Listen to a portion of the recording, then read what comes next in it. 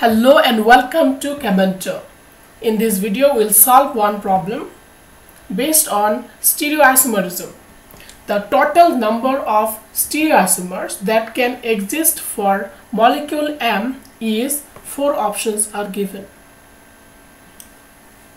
For molecules which are unsymmetrical and which have even number of chiral or stereogenic centers, there is a formula to calculate number of stereoisomers that is 2 raised to the power n where n is the number of chiral centers.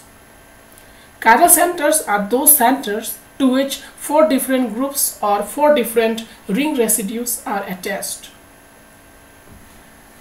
M has two chiral centers so number of stereoisomers should be 2 raised to the power 2 that is 4 but this is wrong answer.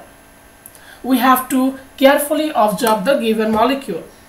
The given molecule does have bridging.